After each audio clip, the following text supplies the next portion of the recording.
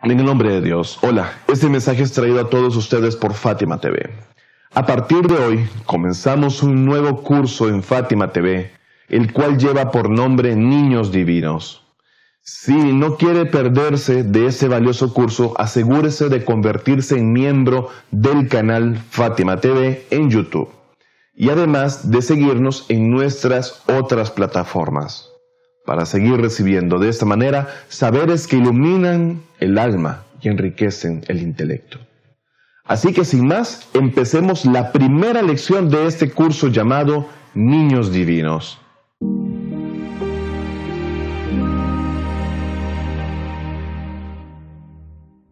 La necesidad de educación divina en la sociedad.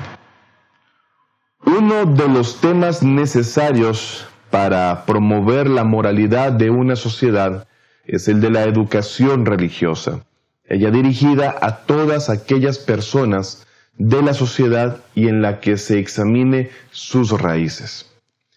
Una de las principales raíces de la educación de esa sociedad de la que estamos hablando está relacionada al tema del celo o gairat en árabe y otros temas relacionados a ello razón por la que doy inicio a mi charla de apertura de este curso con dicho tema.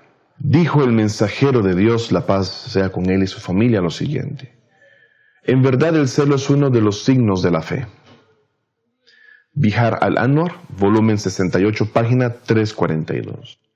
En mi opinión personal, el celo es un gran tema y es un tema también de gran necesidad para todos los miembros de la sociedad ya que es algo que bien encaminado juega un papel fundamental e importante en la sociedad, ya que el mismo haría que muchas inmoralidades y corrupciones o patologías sociales que ocurren actualmente debido a la falta del elemento del celo en la sociedad se desaparezcan o se desarraiguen de la misma. En la definición de celo, los especialistas en ética o los ulamás de ética dicen lo siguiente. Sentir celos por algo, o gerat en árabe, es una condición del alma, la cual surge de amar algo, causando que el ser humano se inste a cuidar las cosas, las cuales, según el intelecto y el mandamiento divino, es él responsable respecto a ellas. Pero veamos los tipos de amor y querer y las raíces del celo en función de estos tipos de amor. Hay tres formas de amar y es algo meramente interno. El primer tipo de amor es el amor animal, que también tienen los animales, y el celo que surge de este amor es un celo animal. Estoy seguro que has visto cómo los animales intentan proteger a sus crías. Todo esto proviene del mismo amor y celo animal, el cual es instintivo e incluso ha sido mencionado en nuestras narraciones. Por supuesto, cabe señalar que el celo de los animales es temporal, debido a que su celo del uno del otro se mantiene vivo por tan solo un tiempo determinado, comúnmente corto, y después, pasado ese tiempo, se distancian el uno del otro, por lo que esa temporalidad de los elementos motivantes o que desencadenan esos impulsos naturales no son en sí racionales. Esto es meramente instintivo, algo que está en la naturaleza intrínseca de los seres, tal como pasa con los pájaros que alimentan a sus polluelos para verles crecer y los echan de casa cuando ya crecen.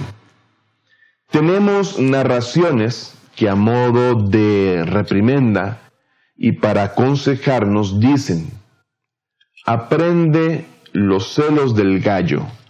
Mira cómo el gallo está celoso de su esposa y es que así podemos también visualizar con este grado de conciencia a personas sin celos en la sociedad en la que vivimos actualmente. Incluso hay quienes ni siquiera tienen celo animal en su haber.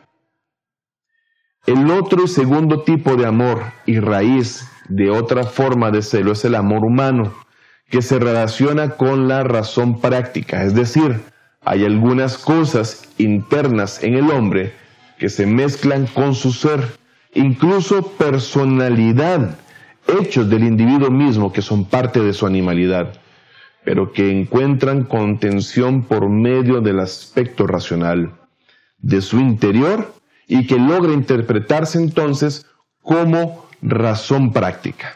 El ser humano, independientemente de su religión o creencia, reconoce el bien y el mal, siendo que con respecto a esto podemos poner como ejemplo el como todos los seres humanos aceptan que el mal está incorrecto y ello significa opresión y que el bien significa justicia en general. Estas cosas innatas hacen que el ser humano, el hombre, encuentre un amor humano por ellas, razón por la que el ser humano, como dijimos antes, ama la justicia y la fidelidad basadas en el intelecto práctico. Así que debe estar celoso de ellos. En otras palabras, busca la forma de conservar todo aquello que sea intelectualmente bueno en él y no hace nada que fomente o permita destruir esas buenas obras. Por ejemplo, la castidad no es una característica que deba adquirirse o imponerse a alguien por la fuerza, debido a que todos los seres humanos saben que la misma es buena y es parte de un estado de salud en cierta etapa de la vida. Por lo tanto, mantener esta cualidad moral es necesaria para los seres humanos y es también parte de una necesidad intelectual. Debido a la existencia de estas tendencias innatas, los ulemas o los sabios de ética en la definición de celo colocan, colocan el término intelecto junto al de Sharia o ley y dicen, el celo es un medio para garantizar la preservación y protección de las cosas que son racionalmente necesarias. La tercera forma de amor, factor y raíz del celo es el amor del hombre en otra dimensión de su propia existencia. El circuito del amor en este tipo de celo es más limitado e incluye solo la dimensión espiritual del hombre. En otras palabras, este celo está relacionado con las creencias religiosas y la fe, y este tipo de amor es el mismo que el apego y el interés por lo sobrenatural y por Dios Todopoderoso.